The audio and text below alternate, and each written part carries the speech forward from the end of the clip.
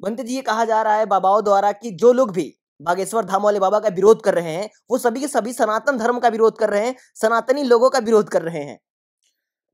हाँ बार बार ये बात सही है कि आप जो कह रहे हैं कि सनातनी लोगों का विरोध कर रहे हैं बार बार धीरेन्द्र शास्त्री ने भी कहा कि मैं सनातनी हूँ हम्म, और मैं सनातन को बचाने का काम कर रहा हूँ। बिल्कुल। तो भारत के लोग उससे ये पूछ ले पहले कि वो हिंदू है या सनातनी है? या फिर तीसरा नंबर ब्राह्मण है? बिल्कुल। ये मैं सवाल आपके लिए छोड़ रहा हूँ, उससे पूछो, आप सनातनी है या हिंदू है? या इन दोनों के बाद क्या ब्राह्मण है? तो जवाब आएगा, वो पहले ब्राह्मण है। और जो ब्राह्मण है, वो सनातन को तो मानता ही नहीं है। क्योंकि सनातन का तो जो मतलब है, वो प्रकृति है। वेद नहीं है, शास्त्र नहीं है। समाज को अंतर का नहीं पता कि सनातन की परिभाषा क्या है। और ब्राह्मण की परिभाषा क्या है? ब्राह्मण जीवित है साहित्यों पर। शास्त्रों पर वेदों पर उपनिषदों पर और वेदों पर उपनिषदों पर सनातन नहीं चलता। सनातन चलता है प्रकृति के कानून पर। सनातन का मतलब ही है जो प्रकृति का कानून है वो सनातन का कानून है। तो जाके धीरेन्द्र शास्त्री से पूछो कि तुम प्रकृति के कानून को मानते हो? तो मानने से इनकार कर देगा। क्योंकि कोई भी ब्राह्मण वेदों के खिलाफ नहीं जा सकता। कोई भी ब्राह्मण अपने उपनिषदों के खिलाफ नहीं जा सकता। भारत में केवल दो ही ऐसे महापुरुष पैदा हुए जिन्होंने सनातन की बात करी जो सच्चे सनातनी सनातनी थे जो सच्चे प्रकृति के पोषक थे जो सच्चे प्रकृति के समर्थक थे वो केवल भारत के दो वीर बुद्ध और महावीर। मतलब आपके कहने का मतलब ये है कि जो लोग ये कहते हैं हिंदू हैं हम सनातनी हैं वो लोग ढोंगी हैं। पूरे ढोंगी है। असली सनातनी बौद्धिस्ट लोग ही हैं। असली सनातनी बौद्धिस्ट है और महावीर के मानने वाले लोग हैं। जो प्रकृति के नियम को मानते हैं क्योंकि इनके यहाँ ना वेद माने जाते हैं ना उपनिषद माने जाते हैं। ये मानते हैं प्रकृति के कानून को और प्रकृति के कानून को मानने वाला ही सनातनी होता है। ये समाज को समझ में आना चाहिए बस। तो धीरेन्द्र शास्त्री जो चमत्कार कर रहे हैं लोगों की मन की बातें बता दे रहे हैं आखिर उनके अंदर ये क्षमता शक्ति आई कहाँ से? अच्छा ये क्षमता कहाँ से आई? मैं इसे क्षमता नहीं कहूँगा या इसको कोई तकनीकी नहीं कहूँगा। हमने एक गाँव में एक छोटी सी कहावत सुनी है कि धीरेन्द्र शास्त्री जैसे ही इनके पूर्वज थे हम्म उनका भी नाम रहा होगा कोई शास्त्री हो गए जैसे धीरेन्द्र शास्त्री वो भी अमुक नाम के कोई शास्त्री हो। गए तो वो एक किसान के घर पे चले गए। उस किसान ने इसलिए उन शास्त्री को बुलाया कि वो अपने खेत में ट्यूबवेल लगाना चाहते थे। ट्यूबवेल। हाँ। तो अब शास्त्री जी ज़मीन के चारों तरफ़ घूम कर देखा। तो शास्त्री जी कहते हैं कि भाई तुम्हारी ज़मीन में पानी नहीं है। तुम्हारी ज़मीन में पानी नहीं है तुम्हें यह खेत बेचना होगा। जानते हो क्यों? क्योंकि कोई भी ब्राह्मण नहीं चाहता कि इस बहुजन समाज के पास ज़मीन जायदाद व्यापार हो। कोई नहीं चाहता। इसलिए उसे झूठ कहा गया कि तुम्हारी ज़मीन में पानी नहीं तुम इस ज़मीन को बेच दो। बिल्कुल। खैर ये बातें खत्म हुई। किसान ने कहा कि शास्त्री जी आओ घर पे भोजन कर लीजिए। जैसे शास्त्री उसके घर पे भोजन के लिए गए किसान की पत्नी ने भोजन तैयार करा। तो उसने अपने पति से पूछा कि, शास्त्री, ज़मीन का मुआयना करके आए, ज़मीन का पूरा का पूरा परिश्रमण किया है तो क्या शास्त्री जी ने बताया कहीं पर ज़मीन में हमारे यहाँ ट्यूबवेल लगेगी? तो किसान ने रोते हुए अपने आँसू गिराते हुए अपनी पत्नी से कहा कि, शास्त्री जी ने जो मुआयना किया है, उन्होंने मना कर दिया कि हमारे यहाँ ज़मीन में पानी नहीं है। उसकी पत्नी का ठीक है। तो जानते हो क्या क्या? वो पत्नी, जो किसान की पत्नी थी उनकी घरवाली थी बहुत समझदार थी बहुत समझदार परिवार से थी। उसने दाल चावल बनाई और दाल चावल में क्या करा सबसे पहले घी डाल दिया फिर उसने उसमें बुरा डाल दिया और उसके ऊपर से चावल डाल दिए। पहले गाँव में इसको बोलते थे हम सकराना। पहले हमारा जो ये जिस गाँव की कहावत है उस गाँव में इसको सकराना कहते थे। तो सकराने का मतलब होता था कि चावल बुरा और घी। और उसने क्या करा पहले घी डाला फिर बुरा डाला और फिर उस पर चावल डाल दिए और किसान ने जाके उस शास्त्री जी को दिया। जब शास्त्री जी दिया कि भाई शास्त्री जी खाना खा लो सकराना बना के लाए हैं।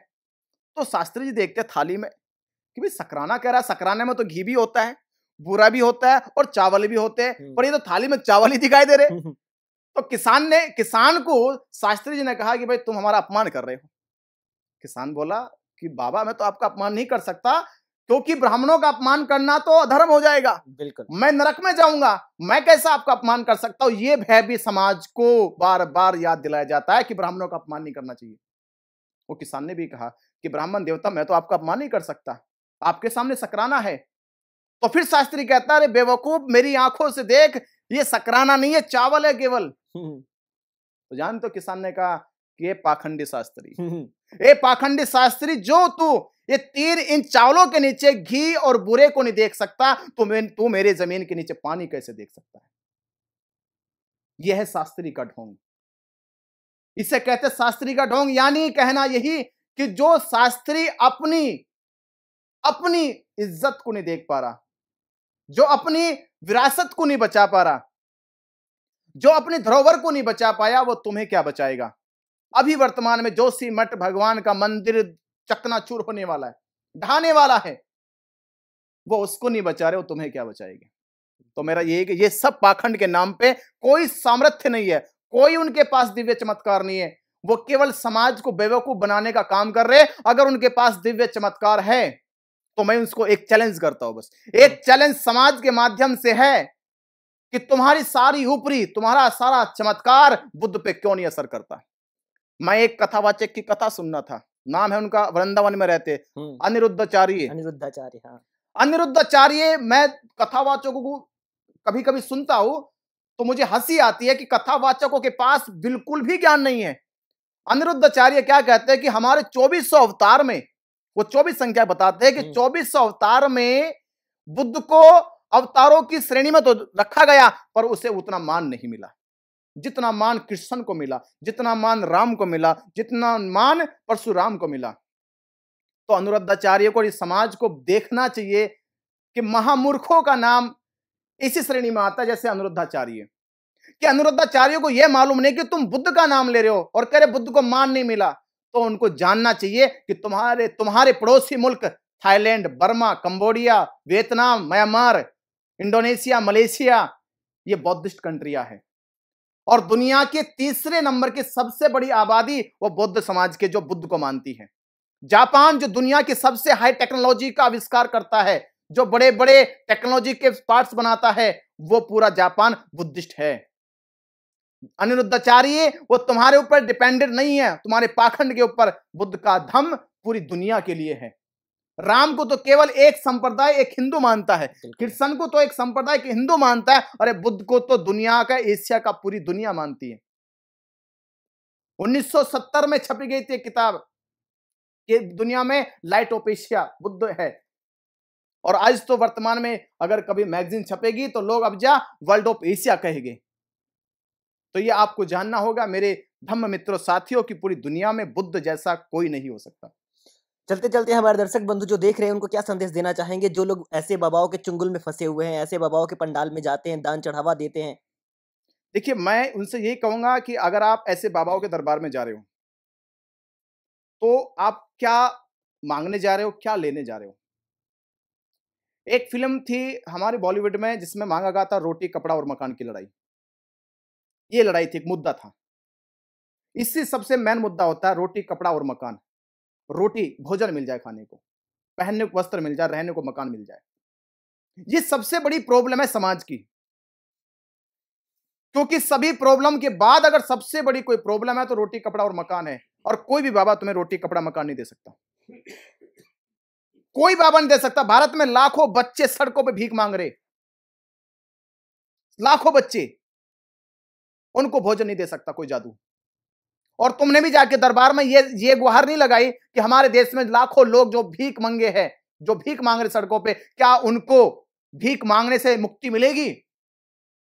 तुमने वो चमत्कार नहीं देखा उनका फिर। तुमने ये नहीं कहा बाबा से कि बाबा हमारे देश में लाखों लोग इलाज के अभाव में मर जाते हैं। वो दिन, अभी दिन दूर नहीं है, अभी तो 19 और 20 और 21 ये तीन साल पूरी दुनिया पे संकट का था। बिल्कुल। तब तुम्हें कोई दिव्य दरबार नहीं दिमाग समझ में आया? और मैं केवल धीरेन्द्र शास्त्री को नहीं कह रहा, मैं पूरी ईसाइत को कह रहा हूँ, पूरे इस्लामिक को कह रहा हूँ और पूरे हिंदू धर्म के पाखंडियों को कह रहा हूँ कि जब कोरोना काल चल रहा था, जब तुम्हारे मंदिरों पर भी ताले थे, भगवानों के मंदिरों पर ताले जड़ दिए गए, मस्जिदों पे ताले जड़ दिए गए, चर्च पे ताले जड़ दिए गए, ना उस समय अल्लाह था, ना भगवान था, ना ईश्वर था, ना खुदा था, ना परमेश्वर था। जब लोग आहाकार से, कोरोना की मार से मर रहे थे अस्पतालों में, हॉस्पिटलों में डॉक्टर देखने से घबरा रहे थे। जब बड़े बड़े शंकराचार्य, आचार्य भी कोरोना की चपेट में चले गए बड़े बड़े मौलाना चले गए बड़े बड़े पादरी चले गए, तब तुम्हारी समझ में नहीं आया कि चमत्कार अब कहाँ गया। चमत्कार को देखना ही था, दिव्य शक्ति को देखना ही था। धीरेन्द्र शास्त्री जैसे, बागेश्वर धाम जैसे चमत्कार का दावा करने वालों के सच को जानना था तो कोरोना काल में जानना था। और आज भी जानना है तो जानो उनसे। कि अपना दरबार तुम हॉस्पिटल में जाके क्यों नहीं लगाते? बिल्कुल। मैं आपको सवाल देके जा रहा हूँ कि अपना दरबार तुम हॉस्पिटलों में लगाओ पीआईजी में दिल्ली पीआईजी में लगाओ चंडीगढ़ पीजीआई में लगाओ जाके। जितने भारत में पीजीआई हॉस्पिटल बने हैं जितने भी डिस्ट्रिक्ट हॉस्पिटल हैं तुम अपना दरबार हॉस्पिटलों में जाकर लगाओ। और उन हॉस्पिटलों में बिना दवा के बिना डॉक्टर के तुम उनको ठीक करके दिखाओ। और लाइव टेलीकास्ट और मीडिया भी फिर उनको प्रमोट करे। क्यों मीडिया झूठ को सच दिखाने की कोशिश कर रही अरे सच को सच दिखाओ। और ऐसे दरबार लगाने वालों से ऐसे शास्त्रों से उनको चैलेंज करो कि तुम अपना दरबार हॉस्पिटलों में लगाओ। जिन लोगों के पास दवा नहीं है इलाज कराने के लिए जिनके पास अपनी बीमारी को ठीक करने का पैसा नहीं है ऐसे लोगों कम से कम इलाज तो हो जाएगा। तो मेरा यही संदेश है कि दरबार लगाना है तो हॉस्पिटल में लगाओ। दरबार लगाना है तो गरीबी की मुक्ति का लगाओ। दरबार लगाना है तो अशिक्षा से शिक्षित होने का लगाओ। अगर ये दरबार लगा के तुमने परिवर्तन समाज में लाया तो तुम सच्चे धार्मिक हो तुम सच्चे फिर दिव्य शक्ति वाले हो। मेरा यही कहना है। हमारे चैनल बहुजन दस्तक को देखना लाइक शेयर सब्सक्राइब करना मत भूलिएगा। और फेसबुक ट्विटर इंस्टाग्राम पर फॉलो ज़रूर करिएगा। जय भीम। जय संविधान। जय भारत। नमो बुद्धाय। धन्यवाद। चैनल आर्थिक समस्या से गुजर रहा है। अगर आप बहुजन समाज में बाबा साहेब अंबेडकर और तथागत बुद्ध की विचारधारा को अधिक से अधिक लोगों तक पहुंचाना चाहते हैं तो हमें आर्थिक सहयोग प्रदान करें, ताकि हम अपने चैनल के माध्यम से देश विदेश में समता, बंधुता, एकता और संवैधानिक अधिकारों को ज़्यादा से ज़्यादा लोगों तक पहुँचा सकें। आप अपनी सहायता राशि नीचे लिखे खाते में जमा करा सकते हैं। खाता धारक, गौतम रत्ना। खाता संख्या तीन एक छ नौ पाँच सात छ आठ छ पाँच एक। I F S C code S B I N शून्य शून्य छ शून्य तीन तीन छ बैंक भारतीय स्टेट बैंक। आप हमारे बैंक खाते का विवरण स्क्रीन पर भी देख सकते हैं। रोको मत, हमें टोको मत, हमें आगे बढ़ते जाना है। जय भीम का नारा लगाना है, जय भीम का नारा लगाना है, जय भीम जय भीम। मैं गौतम रत्ना, आपका बहुजन फ़िल्म प्रोडक्शन में स्वागत करता हूँ और आप हमारे प्रोडक्शन हाउस के अंदर अपना कैरियर बना सकते हैं as a film director as a producer and actor and actress and editor and cinematographer also अगर आपको फ़िल्म से रिलेटेड कुछ भी प्रोजेक्ट आपको बनवाना है तो हमारे पास में पूरा सेटअप है, जिसमें फ़िल्म कैमरा है, शूटिंग लाइट्स है और एडिटिंग है। सारा ए टू जेड एक ही जगह पर आपको हमारे यहाँ पर मिल जाएगा। तो दोस्तों, आप हमें कांटेक्ट कर सकते हैं हमारे नंबर्स पर nine eight one double zero eight five seven one four और eight five one triple zero five seven one four. हमारे वेबसाइट भी विज़िट कर सकते हैं W W dot film service India dot com और हमें मेल भी कर सकते हैं Gautam film production at the rate G mail dot com पर। धन्यवाद।